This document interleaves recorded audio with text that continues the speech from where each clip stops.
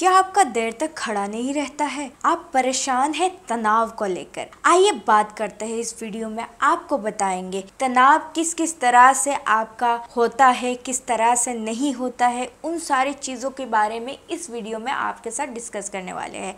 Hello everyone, जय हिंद दोस्तों। कैसे आप समझ कर तो खैरियत से होंगे दोस्तों। बहुत सारे लोग परेशान है अपने तनाव को लेकर कि मैम आता है तनाव, लेकिन बहुत जल्दी चला जाता है। नंबर टू, तनाव आता आता ही नहीं है। नंबर थ्री तनाव आता तो है। एक सेकंड में तनाव खत्म हो जाता है। ये तीन चार प्रॉब्लम होती है। इसके पीछे क्या कारण होता है? दोस्तों, इससे पहले अगर आप हमारे चैनल पर नए हैं तो वीडियो को लाइक करें, चैनल को सब्सक्राइब करें नोटिफिकेशन बेल को ऑल कर दीजिए और पूरा वीडियो को अंत तक देखने की पूरा कोशिश कीजिएगा दोस्तों, ताकि आपको बेहतर नॉलेज मिल सके इंफॉर्मेशन आप ले सके। तो आइए शुरू करते हैं इस वीडियो को दोस्तों, बिना देरी किए। दोस्तों, इस वीडियो में मैं आपको आपको बताने वाली हूँ, जिन लोग का तनाव नहीं आता है, उसके पीछे सबसे बड़ा रीज़न क्या है? ये सबसे पहले जानेंगे। जैसे कि जैसे कि होता है ना कि 25 साल के लड़का है 25 साल के लड़कों का क्या होता है? तनाव बहुत ज़्यादा आती है और किसी किसी का तनाव कम आती है।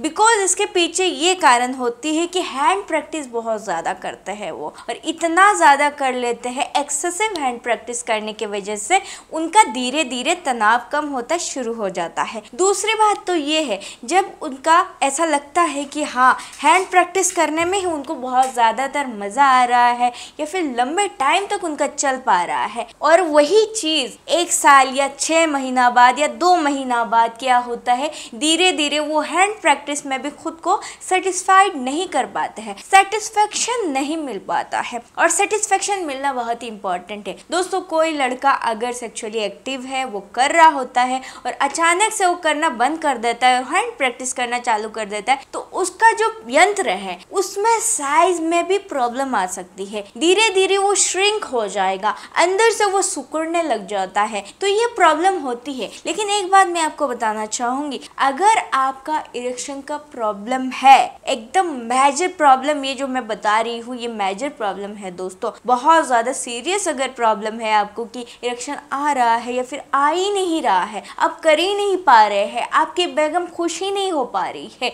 तो ये प्रॉब्लम बहुत ही सीरियस कंडीशन है आपकी। आपको अपने डॉक्टर से सलाह लेनी ही चाहिए ऐसे कंडीशन में। अगर मान लीजिए दो से तीन महीना तक आपका ये प्रॉब्लम है तो दोस्तों आपको बैठना नहीं है और ना ही टेंशन लेना है। सीधा डॉक्टर के पास जानी है और आपको अपने इलाज करवाना चाहिए। लेकिन हाँ बात करते हैं जो युवाएँ हैं, जो कम उम्र के लड़के हैं तो उनके लिए अगर बात किया जाए तो दोस्तों, उनको सबसे पहले अपना हेल्थ पर ध्यान देना चाहिए, क्योंकि वो लोग क्या करते हैं जवानी में बहुत सारी चीज़ें ऐसे कर देते हैं जो सही नहीं होता है उनके लिए, जो कहते हैं ना, बचपन की गलतियाँ। आखिर में एक चीज़ बताओ, बचपन की गलतियों से कुछ होता नहीं है वो रिकवर कर जाती है बॉडी रिकवर कर लेती है। लेकिन वही चीज़, पच्चीस के बाद भी वही गलती आप दोहरा रहे हैं। मॉडरेशन के साथ कर ही नहीं रहे हो आप। आप कंटिन्यूसली वो चीज़ को हाथ से कर रहे हो। तो या फिर वो चीज़ को आप गलत तरीके से कर रहे हो,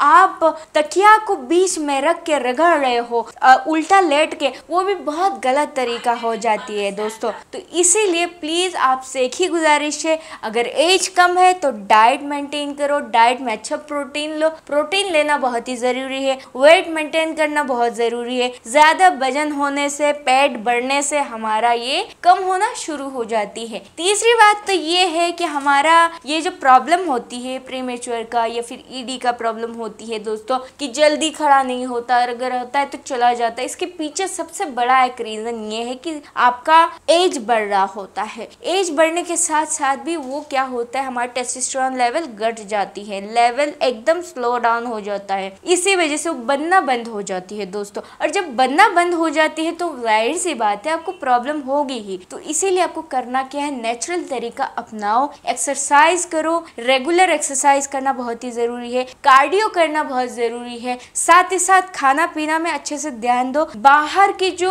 ऑयली फ़ूड है जंक फ़ूड है, उसको बिल्कुल भी नहीं लेना है. इससे हमारा हेल्थ खराब हो जाती है और हेल्थ खराब होने के कारण हमारा जो तनाव आना होता है, वो नहीं आ पाता. नाइट्रिक ऑक्साइड बन नहीं पाता है. दोस्तों नाइट्रिक ऑक्साइड जो होती है, वो बहुत ही इंपॉर्टेंट रोल प्ले करता है. बिकॉज़ हमारा जब यंत्र खड़ा होता है तो उसी का ही रोल है। हमारा यंत्र के अंदर जो मसल्स होती है, एक जाली टाइप का होता है, उसके अंदर ब्लड फुर के भर जाता है, एकदम ब्लड आ जाती है। ब्लड आने के बाद हमारा क्या होता है? इरेक्शन आ जाती है। तो ये होती है। लास्ट में एक चीज़ इस वीडियो में मैं आपको बोलना चाहूँगी, बहुत ही इंपॉर्टेंट है, ध्यान से सुनिएगा। मसाज करना ना बोले और मसाज करने के टाइम आप मास्टरबेट हाथ से ना हिलाए। प्लीज़ आपसे गुजारिश है। बिकॉज़ उस टाइम अगर आप हाथ से हिलाएँगे तो ये आपका जो ट्रीटमेंट है, वो हो ही गए नहीं। वो तो कुछ और तरीके में चला जाएगा, जैसे कि आप मज़े ले रहे होते हो। तो वो चीज़ है, अगर मेरे भाई अब 25 साल के हो 24 साल के हो, उस टाइम आपको कोई गाइड नहीं कर रहा है तो ये वीडियो आपके लिए ही है। इस वीडियो में जो चीज़ मैंने बताया है, उस चीज़ को ध्यान से सुन के आप अपने लाइफ में